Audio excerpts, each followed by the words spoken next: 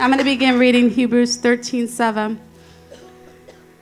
It says, Remember your leaders who spoke the word of God to you.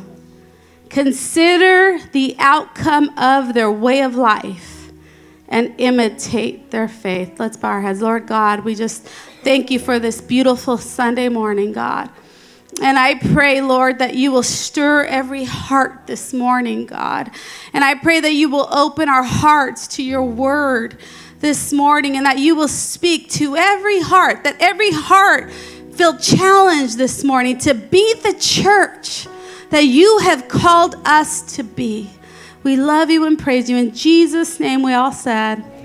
As you're seated, the title of my message is Live the Legacy. Live the Legacy. And we have, I want to tell you a little bit about our ministry because we have a variety of people here this morning. Um, but the ministry of Victory Outreach isn't a new church. The church you are sitting in today isn't a new church, but this is a movement. We have been creating this legacy now for going on 51 years. Give God a hand for that. Because it started with humble beginnings in East LA. And what's so amazing is the, the beginning, the pioneers of this movement with Pastor Sonny and Sister Julie. The original vision for Victory Outreach was let's take East LA for Jesus. And so they would have posters and signs, and, and their posters and signs said, East LA for Jesus. And they would chant, East LA for Jesus, East LA for Jesus. And from there, God said, You know what? You guys are bigger than East LA. We're going to take East LA. You may be a small group of people, oh, but you have big faith inside of you. And he expanded that. Then they began to believe for California and began to launch out churches all over California with simple people. Simple people. Uh, we have a beautiful, rich history in Victory Outreach. And so took California. And then they began to believe for the entire world.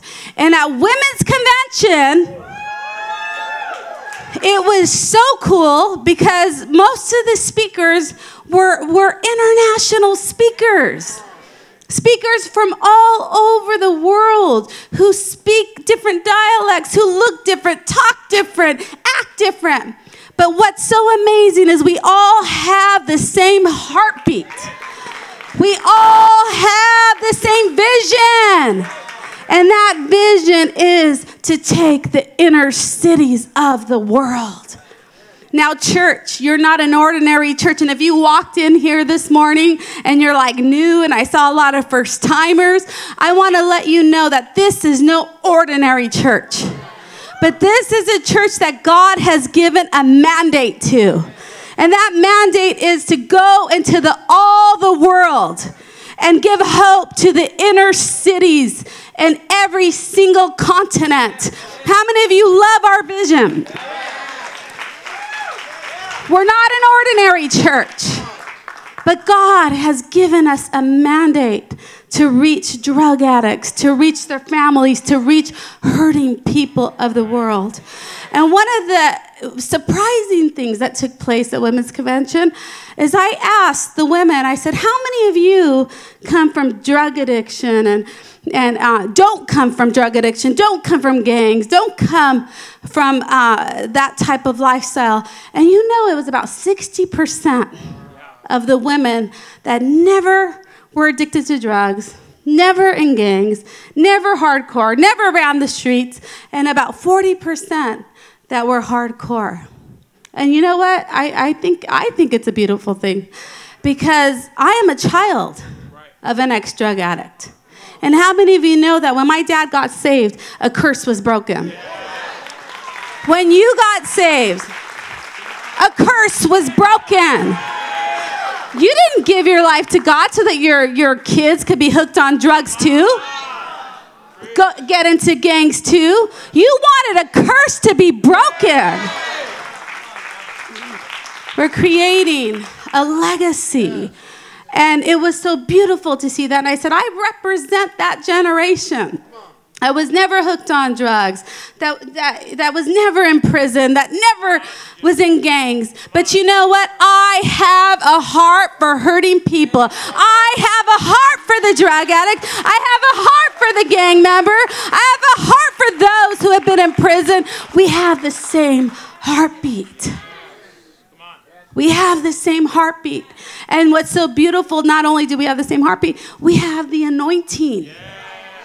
There is a special, I want you to understand this, church. There's a special anointing on this ministry. We carry a special anointing to go into the inner cities of the world to be a light in dark places.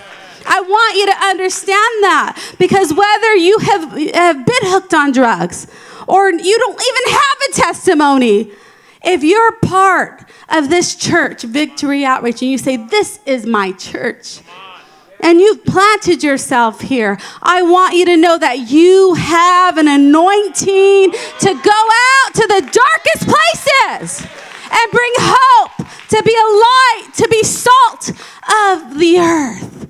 That, that's what God called us to be in and called us to do. And I don't believe He called us and saved us and delivered us to just sit in a pew. I don't believe that.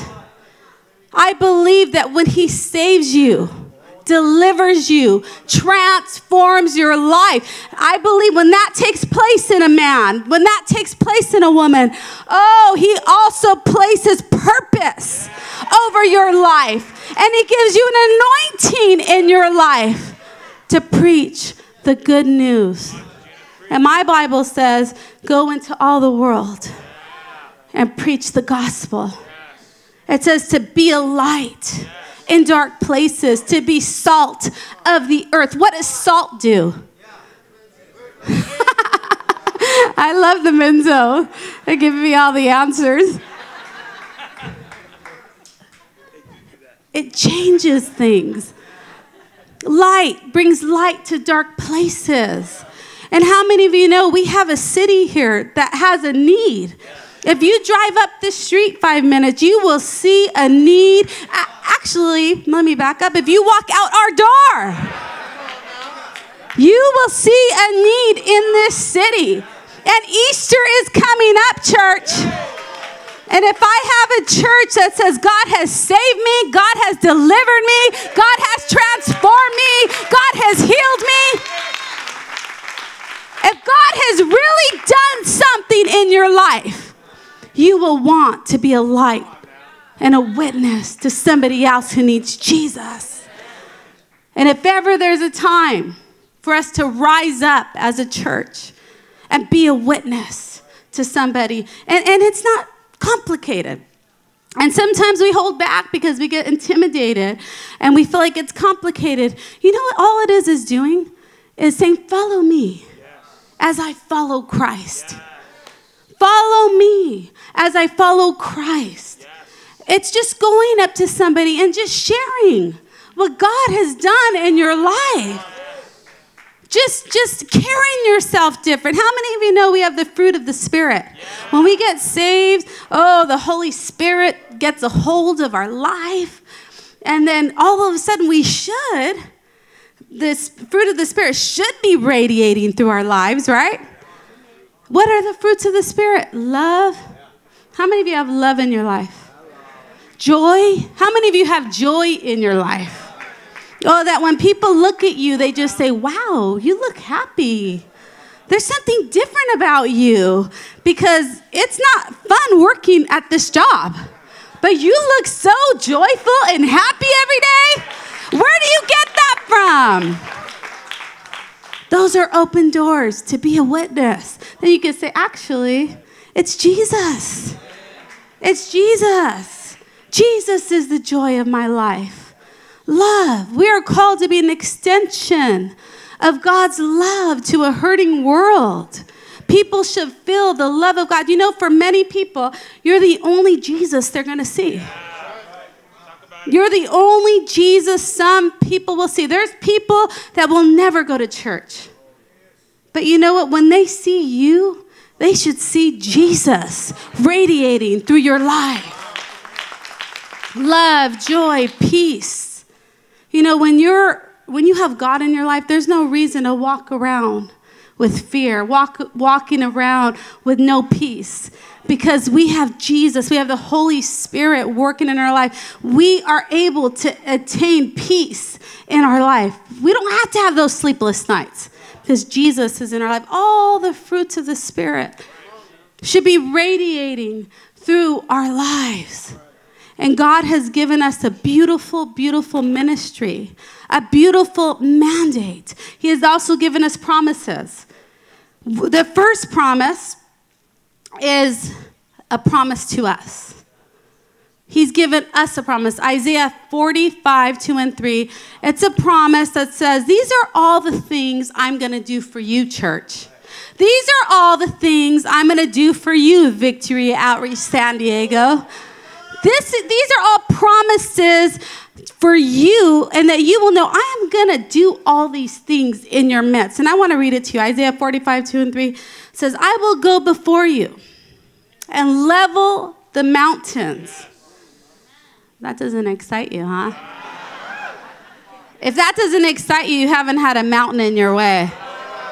But that excites me because it's saying, I will go before you. And that mountain that's in your way, I'm going to level that mountain. I'm going to work on your behalf. I will break down gates of bronze. How many of you know it's hard to break down gates of, bro- gates of bronze? But he said, I will break that gate down and I will cut through bars of iron. Men that work with iron, you know it's not easy to cut through bars of iron. I will give you treasures out of darkness. I will give them to you. Hidden riches and secret places. That, and then it says that you may know. When I give you these treasures, you better know that I, the Lord who called you by your name, am the God of Israel. And has he been faithful to this promise, church? Has he been faithful to give us treasures out of darkness? If He has delivered you from drug addiction, I want you to stand right now. If He has healed you, I want you to stand. If He has healed your body, stand. Oh, if He if He has delivered you from suicidal tendencies, I want you to stand and give Him some praise. Don't just stand.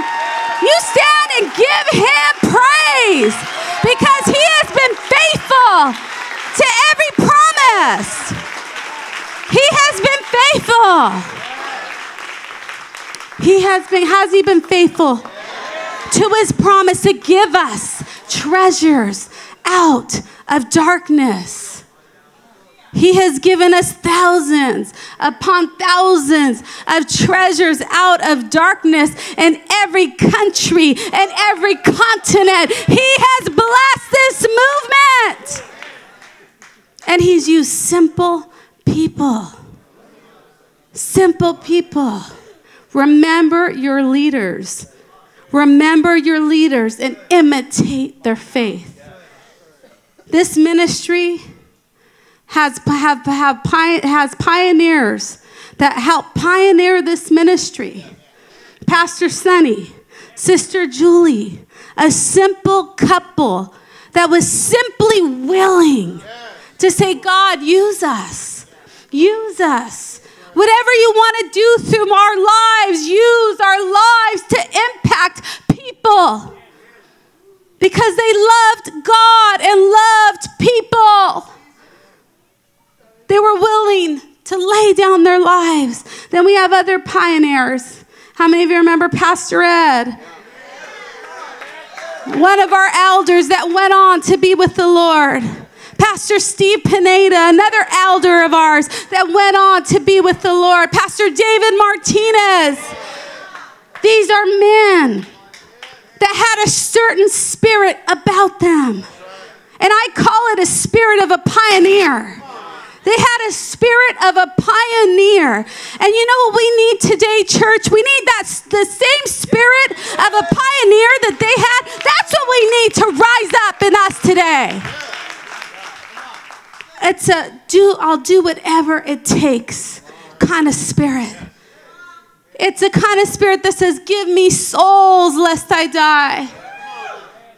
They didn't care about material things. They didn't care about the, the, the things of this world. All they cared about were souls. Give me souls lest I die. But sometimes we lose that urgency. We lose the urgency, and instead of give me souls lest I die, it turns into just give me, give me. Give me. And we go before the Lord with a deserving spirit. We lose the gratitude in our life. What happened to the gratitude? That those days when you were just grateful to be off drugs, when you were just grateful you weren't depressed anymore, when you were just grateful that Jesus saved your life.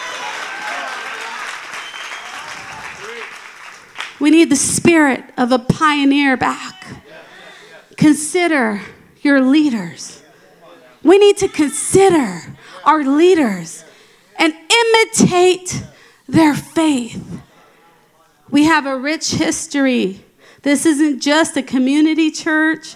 This isn't just a storefront church. This isn't just the church down the street. Oh, but this church is part of a global movement with the mandate from God to reach the treasures of the world. And God wants to use you. I want you to tell your number God wants to use you. Follow me. Follow me as I follow Christ. Follow me as I follow Christ. But you know what he does? He gets us, and the enemy wants to divert us. And he wants us to imprison us. And you know how he imprisons many of you? the prison of offense. And he says, Let me just get them distracted a little bit. Let me get their attention off of the fact that, that Jesus saved them, that Jesus put joy in their life, restored their marriage, healed their body, rescued them their life. And let me put their attention on the prison of offense. Uh, let me, let me get them to a place where they're offended by everything. Remember? It was give me souls lest I die. Now it's give me, give me that deserving spirit. That deserving spirit that the enemy grips us with. And then we start getting offended by things. Walking around, oh, he didn't talk to me right. Walking around, and the and the women, you too. oh, who does she think she is? You don't talk to me like that. You know, she texts me with all caps. and we get offended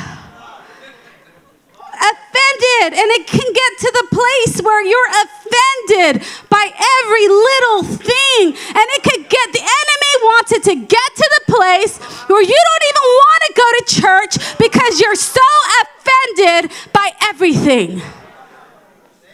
And you don't realize the devil's trolling you. That's what my kids call it.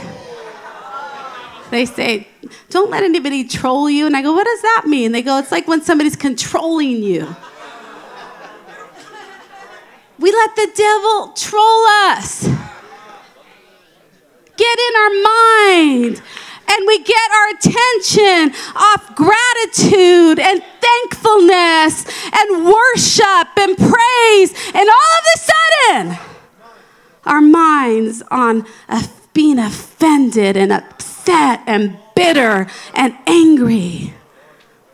And we got to check ourselves, church, because it's not about us. It's not about us. I'm going to say it again. It is not about us. Tell your neighbor it's not about you, baby. It is not about you. It is not about us. But you know why He saved you? To be a light to someone else. He saved you because He had an assignment for you. He saved you because there's people, you have some coworkers at your job that need Jesus. He saved you because there's a little boy down the street from your house that needs Jesus. He saved you because there's hospitals near your house that people need healing. He saved you to be a light in this world. And we have a city in San Diego, church. There's a big need in our city. There are hurting people in this city. People that, right at this moment that we're sitting in church, that are contemplating suicide in this city. People that, right at this moment, there are people in this city that are about to overdose on drugs. Right at this moment, there's young girls, young girls giving themselves up. There's young kids that need a healing that are in the hospital bed, that need somebody to come pray over them. There's children that their parents are hooked on drugs and, and they're trying to be kids and they're seeing their parents get drunk and high and partying. They're lost. And here we are, stuck on ourselves, prisoned by our offenses. The devil has you all chained up, and instead of extending your arms in love to a hurting and dying world, oh, he has you all chained up, thinking about yourself all day and all night. He's called us, He saved us so that we could be a light to somebody. Luke 4 18 and 9 says, The Spirit of the Lord is upon me because He has called me to preach good news to the poor. Oh, to set the prisoner free, recovery of sight to the blind, to release the oppressed, and proclaim the year of salvation. That's the God I serve. That's the God I serve. That's the spirit my God has. And that same spirit is in you. The resurrection power is in you. You have the power to go out and preach the good news to a hurting world. And I pray, I pray that we, I have challenged you this morning because we're approaching Easter Sunday. And not one of us should come here by ourselves. There's not one of us that should come here just thinking about me, me, me. But every single one of us should come with an army of people. An army of people that they have influenced to be in the house of God, to get hope for their situation, to meet Jesus. Need people that love God and love people because that's what this ministry is all about. That is what this ministry is all about. And I want to go to our second promise and as as the worship makes their way up. He has given us a second promise over this ministry. The first promise was all the things that he promises to do for us. But I, when I read this second scripture, the second promise scripture, when I read, I said, "Wow, God, the, this, these are all things you're requiring of us now." The first 50 years were things that you said, I'm going to bless you, I'm going to give you, I'm going to do for you. but going into this next 50 years, he's saying, These are some things I'm requiring of you now. Because there's a whole other generation on the rise. And you know who that generation is? That's your children. That's their children. That's your legacy. Consider your leaders, imitate their faith. We have pioneers that were selfless, all about saving souls, all about equipping the saints, all about the ministry. That's living the legacy. That's what living the legacy is all about. Let's read the second promise Isaiah 54 2 and 3. Says, Enlarge the place of your tent. I want you to look around. We have to enlarge the place of our tent here. I don't know if we have much more room here, and I know that we don't have any more parking. Enlarge the place of your tent. That's what he's telling us to do. Tell your neighbor, we need to enlarge the place of our tent. Stretch your tent curtains wide. Pastor Sonny Sr., his big word right now is stretch. He keeps saying, that's the word of the year to stretch. I want you to stretch right now. And stop doing this feel good stretch.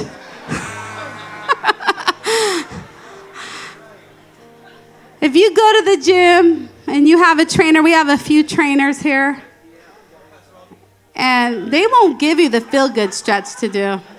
Pastor Algie, show us the, the real stretch. Come up and show us how to stretch properly.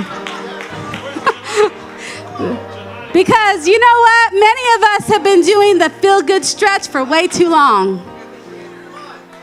We need to stop doing the feel good stretch.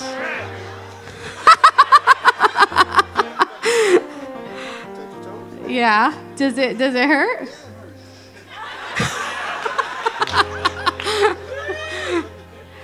See, when you stretch properly, it should hurt a little bit. But you know what? Many of us, you're, you're okay. You're good, Pastor Algie.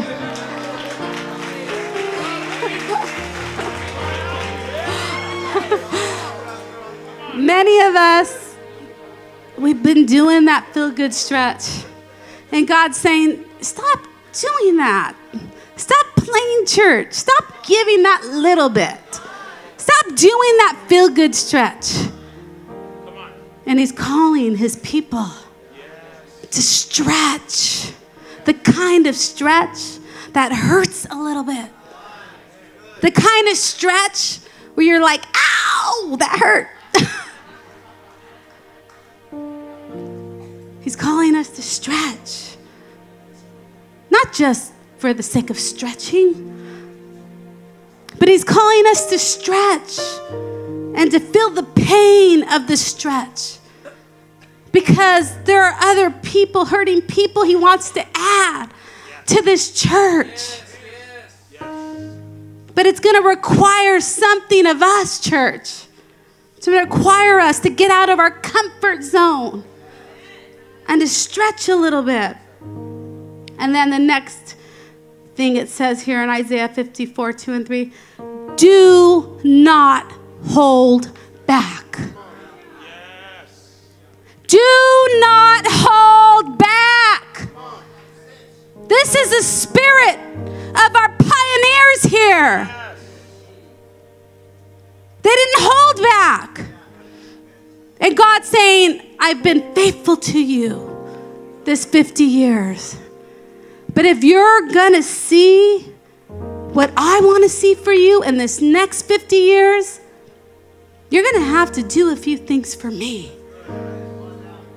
Because I want to bless you. And I know I've blessed you this 50 years. Oh, but it doesn't even compare to the blessings I have for you, Victory Outreach, in this next 50 years to come. But we can't hold back. No holding back Many of you, you hold back with your finances. When they come up here and they give a beautiful speech on giving, oh, you give your little crumbly $20 bill and you think you're doing big things for God. Holding back on your finances, holding back on your gifts. Some of you sing and you don't come up here and sing for the Lord. I believe there's preachers here. I believe there's evangelists here. There's gifts in you, but you hold back. And he's saying, No more holding back. Because it's no coincidence he brought you here today. It's no coincidence. He could have taken you to any church in this city. But guess where he brought you? He brought you to Victory Outreach. Because he said, You're a man that can't hold back. You're a woman that can't hold back. I have destiny placed over you. Don't hold back. Then it says, Lengthen your cords. Lengthen your cords. Strengthen your stakes. Pastor's been saying a lot about if we want to go higher, what do we got to do? Go deeper. And He's calling us deeper, church. He's calling us deeper because He wants to take us higher. But we must go deeper in Jesus. No more prayerlessness days. No more living in the flesh, listening to worldly music and, and acting all carnal. He's saying, I need a church that's going to go deeper in me. I need a church that's going to seek me. I need a church that I could place my anointing upon. I need a church that's going to be an extension of my love to a hurting city. God has given our church a mandate. This city is our assignment. The city of San Diego is our assignment to bring hope to this city, to bring hope to every hurting man, woman, and child that is out there right now in pain and in hurting. And you carry hope. You carry the answer. You carry the answer. But some of us, we got to awaken something inside of us. Some of us here this morning, you got to be delivered from the prison of offense. You got to be delivered from just it, everything being all about me. And lift up your eyes. What does the word of God say? Lift up your eyes. Look at the fields, for they are white and ready for harvest. But it says, lift up your eyes.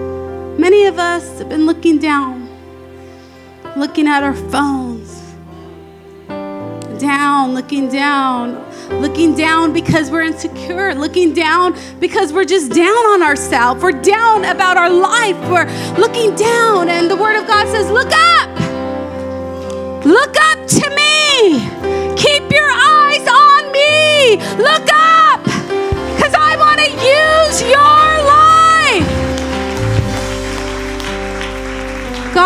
revival. I believe it. Revival is going to take place. But guess where revival starts? Revival starts in me and in you. Revival starts in our hearts. And guess what? Revival is like a fire, a contagious fire. When revival's in your heart, it's contagious, and you can't help but to share it. And this Easter, I want to see this place packed out. I want to see every one of the members of our church come with an army of people that need Jesus, that you have influenced to come, that you have brought to the feet of Jesus.